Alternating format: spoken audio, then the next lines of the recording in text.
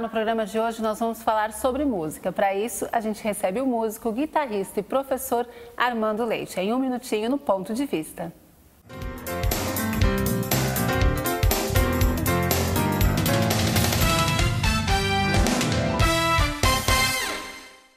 Você que acompanha a programação da TV Câmara Guarulhos, sexta-feira tem Câmara em Pauta inédito para você.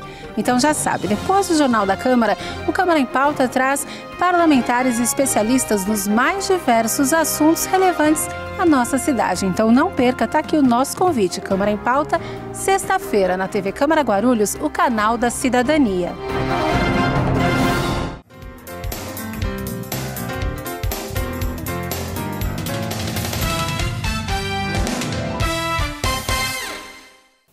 Ponto de vista no ar. No programa de hoje a gente recebe o músico, guitarrista, professor, compositor, palestrante, arranjador Armando Leite. Armando, obrigada pela sua presença. Sou quem agradeço, é um prazer enorme estar aqui, Renata. Bom, tudo isso que eu disse e o que mais a gente descobrir aqui pelo jeito, porque tem bastante coisa para contar. Certamente.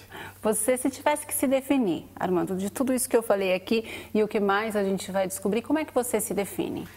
Como músico, guitarrista, muito feliz com o trabalho que, que eu desenvolvo. Né? Eu acho que eu tenho toda essa gama de coisas aí que eu faço, uhum. mas todas, todas elas vêm inicialmente da, da vontade, da, assim, do desejo que eu sempre tive de tocar. Então vem tudo do, dessa dessa cara de músico, assim, o restante é decorrência. É, sempre, você disse para mim assim, eu, eu, sempre tive, né? Sempre desde quando, Armando? Então, é, se sempre não é tão sempre assim, eu acho hum. que eu hum. comecei a tocar é, quando eu tinha 16 para 17 anos, nem foi tão cedo assim, foi é? até um pouquinho mais tarde, né? Hum. Essa história é até engraçada, hum. É, dá para contar? Pode claro, falar? por tá favor. Ah, meu pai faleceu e ficou o carro para a família, e a minha irmã que fazia aula de violão, e ela não dirigia, não gostava de dirigir, então eu a levava até o professor para fazer aula. E o cara uhum. sempre me convidava e falava, entra aí e tal, não quer fazer aula? Eu ficava no carro porque eu não gostava nem de violão, nem de... A sua irmã fazia aula fazia de... Fazia aula de, de violão, violão. É. com esse cara, né? E aí, é, os, os, o João Nelson, né? eu estudei com ele quatro anos e meio, é o nome hum. desse professor. É, ele sempre muito educado, cordial, falava assim, entra aí, vai ficar no carro, tal, não sei o quê. Eu sei que uma vez eu aceitei e falava, vou ficar na sala, né, que eles faziam aula numa sala lá.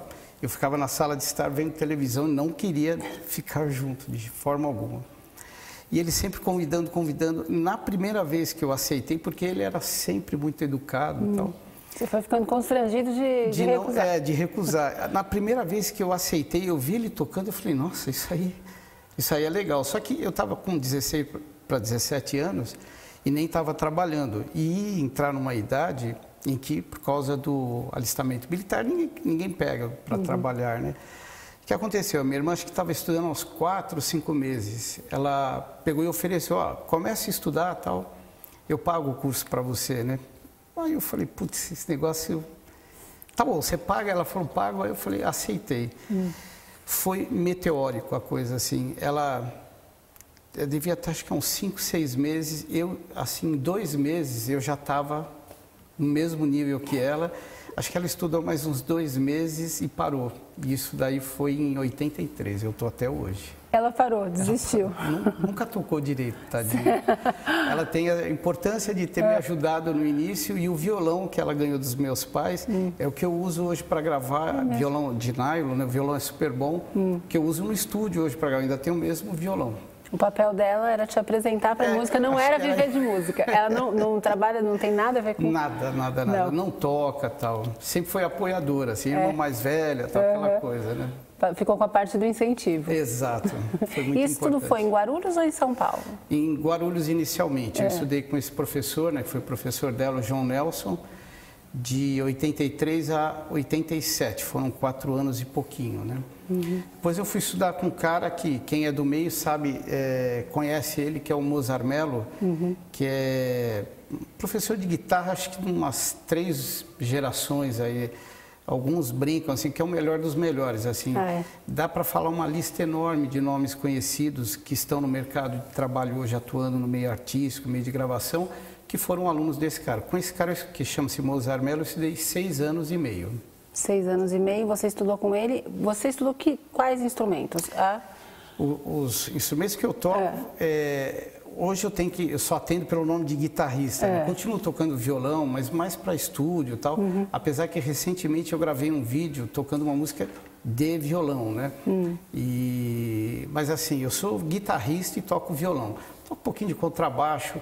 Como eu sou arranjador, eu escrevo para uma série de instrumentos, arranjo, né? Mas arranjo, uhum. normalmente, a gente conhece a sonoridade. Eu já toquei muito com big band, instrumentos de sopro tal.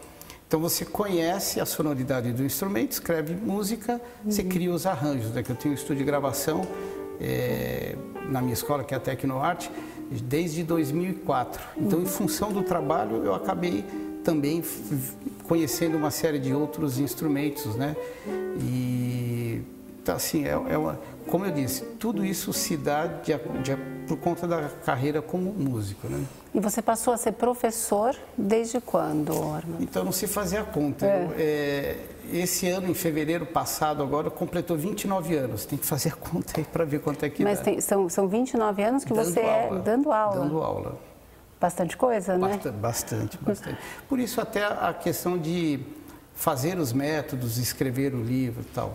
Uhum. É... O livro, até se você quiser pegar e a gente mostra, o livro tem a ver com esses métodos, porque tem, você tocou tem. em métodos, né? Mostra ali para a câmera. Ali. Isso, mostra ali o, o Emerson vai fazer aí para a gente a imagem para quem está em casa também conhecer o livro que é Harmonia Musical. Pode Isso. mostrar para ele mesmo. Esse livro contém métodos de, diferenciados ou não? Como não, que é? Na verdade é assim. É, por que escrever métodos ou, ou um livro, né? A experiência que você adquire no dia a dia lecionando, é, você acaba descobrindo algumas características, porque Acho que um, um, um, dos livros mais importantes deste assunto, né, que é a harmonia, que é usado aqui no Brasil, uhum. é o livro de uma universidade americana chamada Berkeley, que é um livro de harmonia, quase 500 páginas. Uhum. O livro é sensacional. Só tem alguns probleminhas. Primeiro, não está no nosso idioma. Uhum. Então, isso para um aluno é bastante complicado.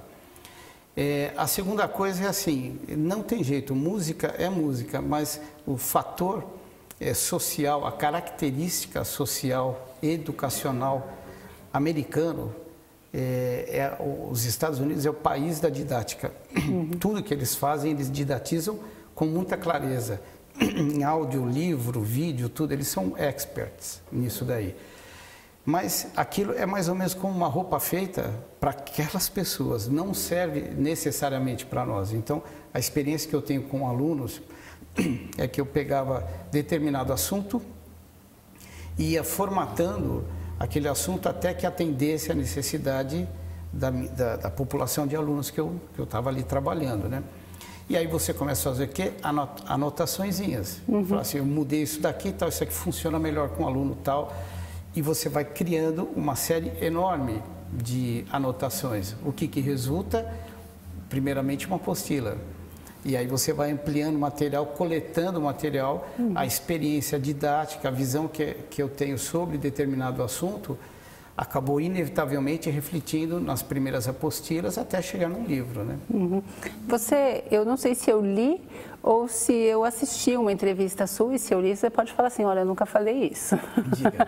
que você dizia que as aulas, às vezes, elas dão uma, uma palavra que eu vou usar, ela trava mesmo o, o processo criativo. Então, né? É... Falou isso, alguma falei, coisa? Falei. Tá. Porque quando a gente lê, não sabe exatamente se você falou isso. Renata, eu tenho, eu até desisti dessa palestra. Como eu, eu, hum. eu acho que eu tenho 11 ou 12 títulos de palestras prontas que eu, que eu uso, né, para dar. Uma delas está relacionado o quanto a escola faz mal, a escola de música faz mal para o aluno. Hum. Então, óbvio, espera aí, se é professor e fala, é, fala mal da escola, não é falar mal, porque na verdade é, música é uma forma, uma, uma das manifestações mais importantes da arte. E aí quando você cria inúmeras regras que acabam tolhindo sempre o aluno, você impõe métodos de estudos práticos e teóricos, interpretativos, porque se você pegar música erudita, tem a ver com o período do compositor, que ano que ele nasceu, o que, que ele queria dizer, tem a ver com o sentimento que ele coloca. Então, uhum. você Pega hoje um, um, moleque de 14 anos em que a vida dele acontece num segundo pela tecnologia que se tem no, no dia a dia, e aí você vem com cheio de regras, cheio, é um choque cultural muito grande.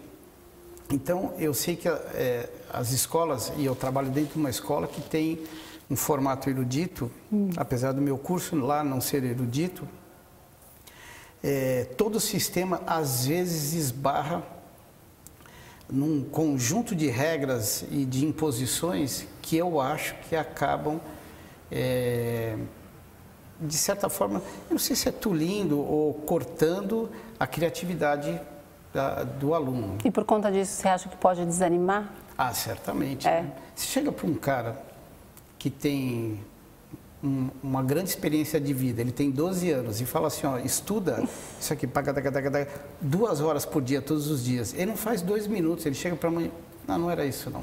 É.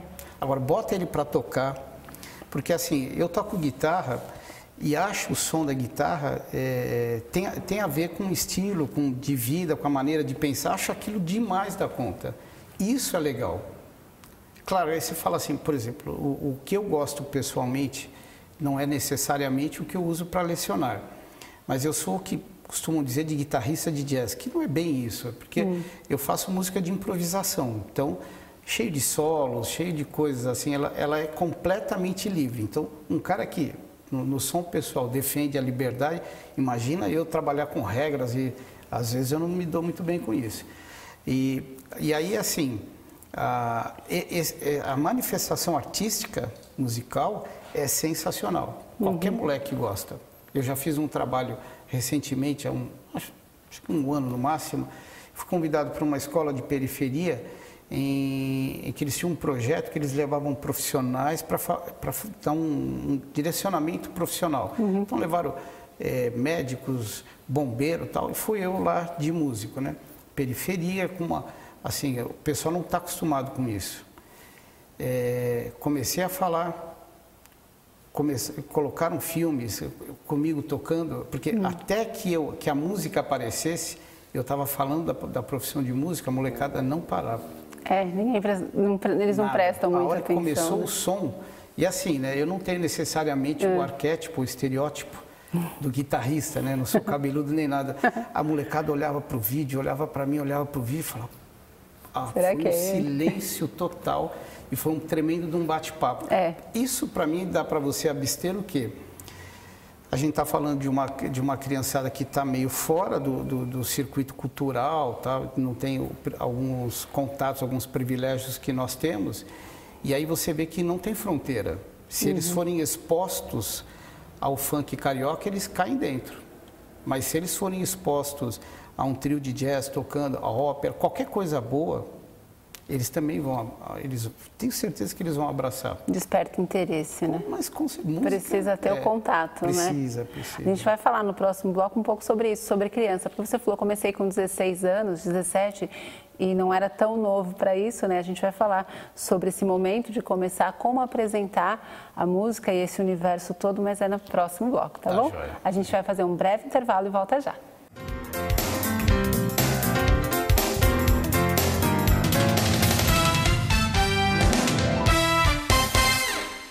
A Câmara Municipal de Guarulhos acredita num mundo melhor e mais igual. E a igualdade de direitos passa por cidadãos democraticamente bem informados. Para que a informação chegue realmente a todos, a Câmara aposta na inclusão. A transmissão das sessões conta com o apoio de um intérprete de Libras, a língua brasileira de sinais.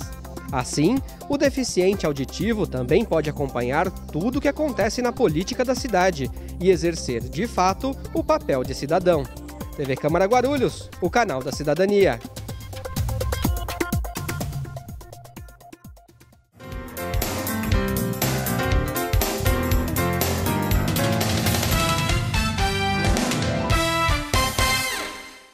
Volta com o ponto de vista, a gente recebe hoje o Armando Leite, que é músico e também professor, né? Guitarrista e professor.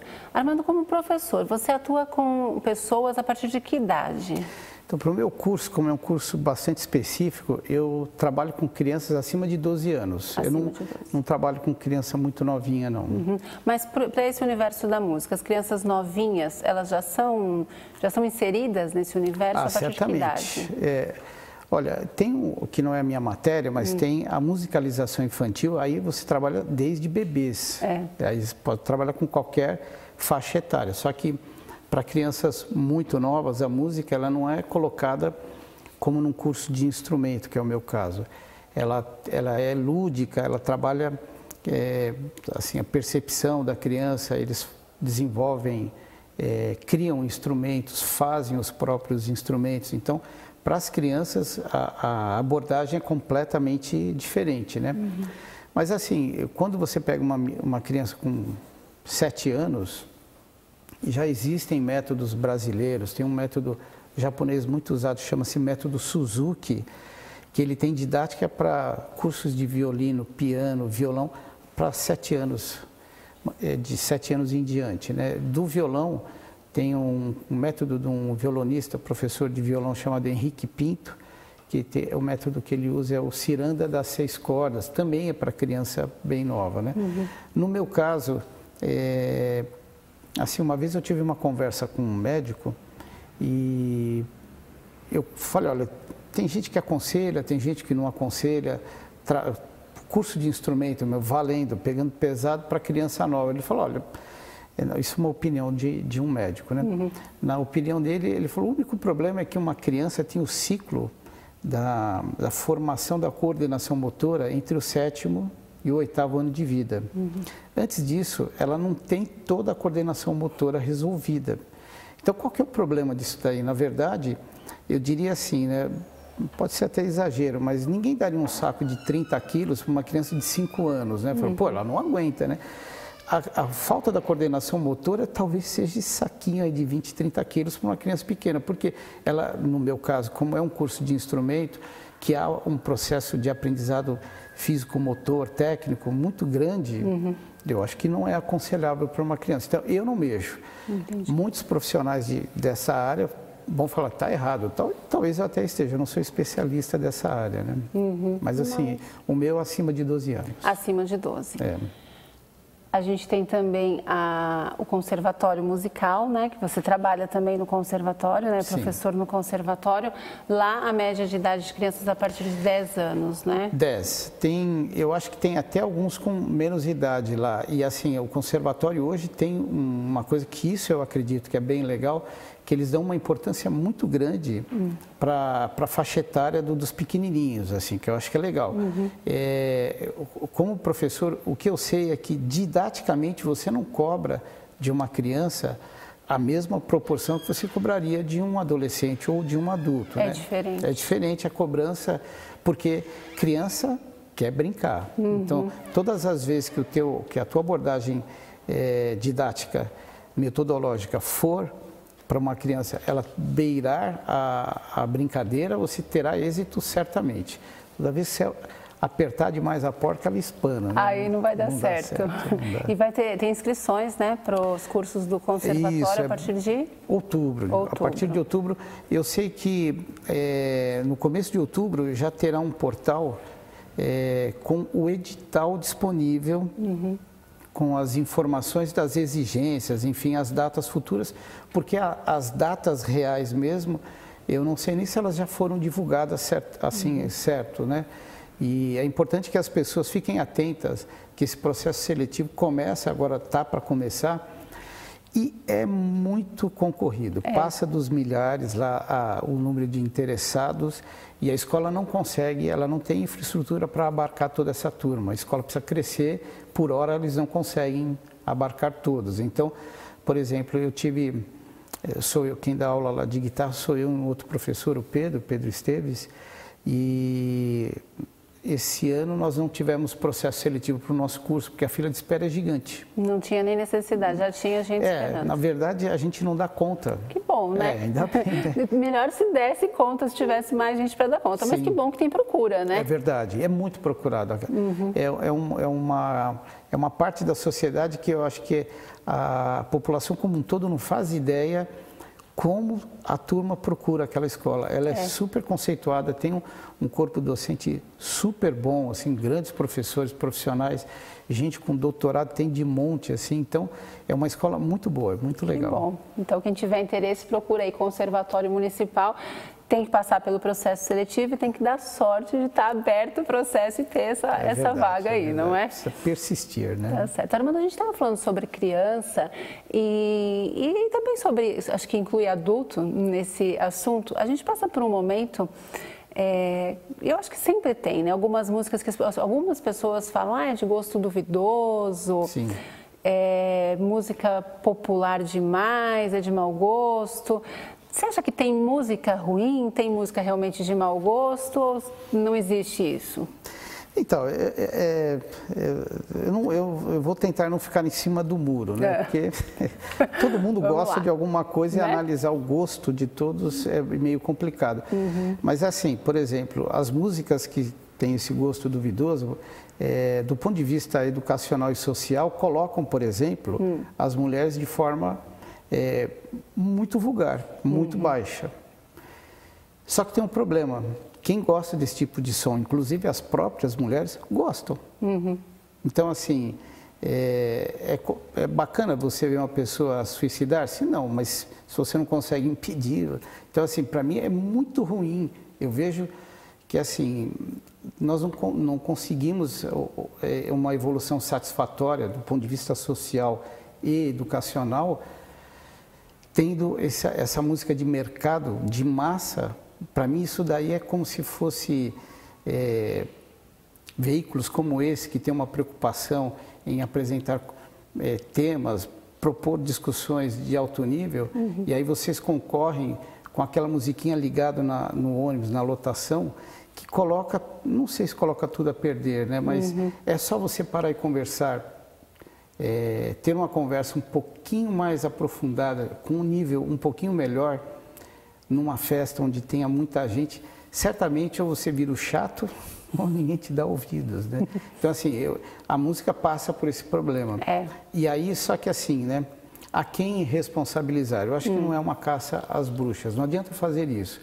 Mas o que eu digo para você, certamente é assim, é, aparentemente, é, na, na commodity cultural, música de cultura, o rendimento é baixíssimo, né? não dá grana. Né? Enquanto o cara pega e grava algumas coisas que não convém citar, vende muito. E, e vira pano de fundo de novela, de... E aí você está cantando tal. Eu tenho até uma brincadeira, Renato, que eu passo... Eu não vejo muito televisão, é, por falta de tempo, eu, eu leio pra caramba tal. E então às vezes eu ouço alguns bordões que a, sociedade começa a falar, eu falo, meu, isso aí é de novela, programa humorístico, sei lá, porque eu não conheço, né? É. É, e acontece com músicas. Já tiveram músicas que explodiram muito assim, que todo mundo cantou e eu consegui passar sem sequer ter ouvido uma única vez. Eu falo, puta que privilégio. Que Porque às vezes você está na padaria, está tocando o rádio, lá pode acontecer. Né? Uhum. Mas assim, esse nível de música, é, não, é, não acho que convém ficar brigando, falando, mas não faz bem, eu acho que não faz bem para quem gosta. Não, não acrescenta. Faz... Não, não. Eu, ao contrário uhum. disso, eu acho que assim, você não consegue uma evolução satisfatória, uhum. você não consegue pôr informação bacana que enquanto você estiver sintonizado com informações, com coisas que não sejam legais. Né? Uhum. E como é que faz hoje, Armando, para viver de música e para vender música?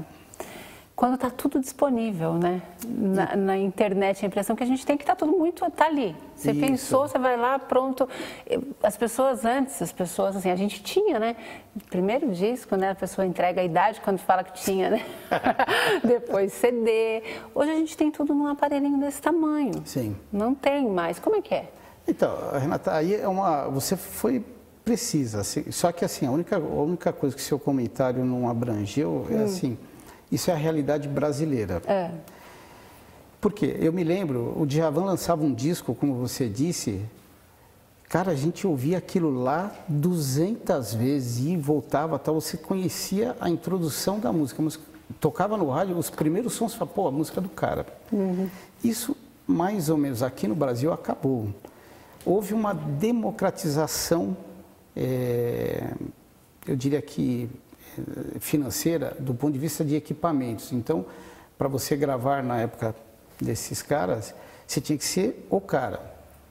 Hoje em dia, um aluno meu compra uma plaquinha de som, hum. eu sou produtor, né, é, tenho estúdio já há muitos anos, é, e aí você reúne uma quantidade enorme, expressiva de conhecimentos técnicos, muito técnicos, para você fazer um disco com nível profissional. Uhum. O garoto compra uma plaquinha, paga 300, 400 reais, pluga ali, toca e tem gente que compra esse tipo de serviço. Então, do ponto de vista geral da qualidade, não tem como ser legal. Ao mesmo tempo, mais a rede social, o sujeito grava, às vezes, com o próprio celular e bota na rede. Então, uhum. isso é uma democratização que eu diria que é bem-vinda. Ao mesmo tempo, não é legal, porque, assim, o nível está muito ruim e essa coisa que você falou de tudo disponível é uma coisa que a proteção ao direito autoral no Brasil não existe.